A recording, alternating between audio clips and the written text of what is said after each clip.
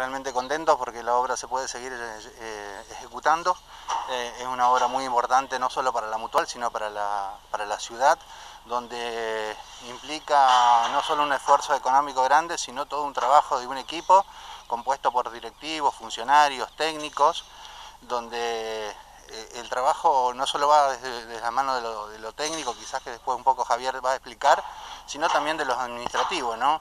Hay mucho trabajo sobre concursos de, precios, presupuestos, análisis de carpetas, seguros, y como si esto fuese poco, hoy también nos encontramos con una situación de, pandemia donde también tenemos que cumplir ciertos protocolos, y bueno, todo eso se hace cuesta arriba y, todo un esfuerzo, ¿no?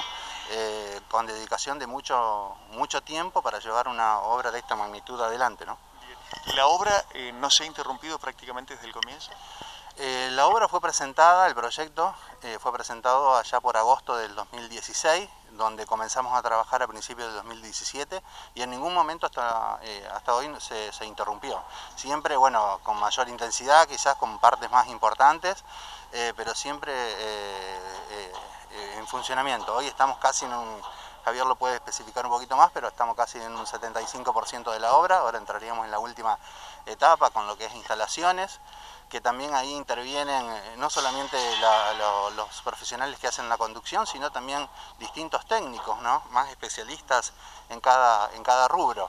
Y, bueno, todo esto eh, lleva mucho trabajo también de coordinación, porque no nos olvidemos que la mutual sigue funcionando, los socios eh, requieren de los servicios, tienen que tener sus comodidades, el personal también, así que también hay toda una logística, una coordinación para que eso se llegue adelante de la mejor manera posible. Javier, vemos la, fachada ya rompe un poco este, eh, las, estructuras convencionales de San Carlos, no pasa, no pasa desapercibida. Sí, en realidad, este, bueno, esta fachada que están viendo, que es parte de la fachada general, es la parte eh, que corresponde al, vidriado. Eh, esto lo que se está viendo ahora, que es la etapa en que estamos trabajando de cerramiento de todo el edificio, es la que más se va a notar en este momento porque tiene mucho trabajo de taller, y se hace el montaje en obra directamente. Eh, inmediatamente después de esto, lo que continúa de la etapa, de, en la etapa esta es el sector de fachada, de revestimiento de fachada, que ya lo van a ver en su momento, eh, está hecho con un material, con unos paneles de aluminio eh, que se aplican sobre la fachada existente. Decía Claudio, quedan este, un 25% aproximadamente de obra. Eh, esto digo, eh, también se va, se va a encarar con, eh, con la rapidez que se viene desarrollando este, este ritmo. Sí, estamos en más de un 70%. Todas las tareas que quedan, como bien dijo Claudio, todas las tareas que quedan a partir de ahora, la mayoría se van a desarrollar en el interior. Por lo tanto, son tareas que en gran parte se preelaboran en talleres. por eso lo que más, como te decía, lo que más se nota es ahora que está la envolvente en construcción y luego vamos a pasar al interior en donde tenemos que hacer instalaciones pues, de aire acondicionado, cielo raso, pisos, oficinas. Esto significa también este, alguna pequeña incomodidad para el, habitual cliente. Sí, bueno, la, necesidad de, que planteó la mutual desde un principio de no interrumpir eh, los servicios eh, hace que le da una complejidad un poco mayor a la obra hay que convivir, a veces hay que, la, gente de la mutual, sobre todo el personal, tuvo que tolerar ciertas incomodidades eh, porque no hay manera de, poder parar todo, ¿no es cierto? Y, todas estas, digo, eh, estamos viendo la, mega estructura ya absolutamente finalizada. Sí, la primera etapa fue la, estructura de hormigón, que ustedes vieron que como dijo Claudio se hizo en el año 2017, Después continuamos con tareas internas de infraestructura eh, y de servicios propios para uso interno, mientras se fue elaborando eh, y construyendo en, talleres todo el sistema de fachadas, que es un sistema que se denomina frente integral y que tiene algunas características que eh, lo diferencian del resto porque la idea del edificio es apuntar a la eficiencia energética.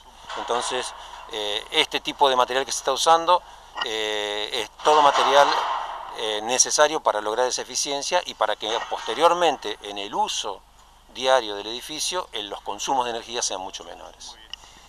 de afuera hacia adentro, para quienes no, no vinieron nunca a la mutual, se ve con perfección y de afuera, perdón, de adentro hacia afuera y de afuera hacia adentro se ve un vidriado.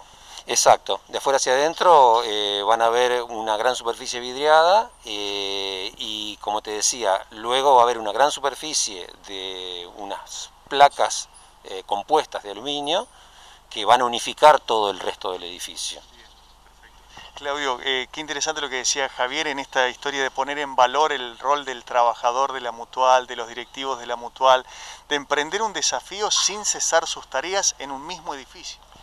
Sí, como te decía antes, hay un trabajo de, coordinación, de trabajo en equipo, entre directivos que le dedican mucho, mucho tiempo, entre el personal y entre el, asociado. ¿no? Hay que valorar también eh, toda la tolerancia que tuvo el asociado en momentos eh, de, plena pandemia, cuando empezábamos, eh, recordamos toda la parte de que estábamos haciendo la parte de caja, la parte del salón, donde se nos, se nos complicó para poder atenderlo de la manera que lo estábamos haciendo.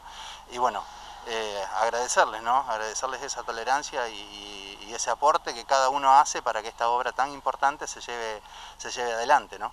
¿Sueñan con un fines de 2021, mediados de 2022, este, cortamos la cinta. Y estamos ansiosos, pero bueno, vamos despacito, seguros.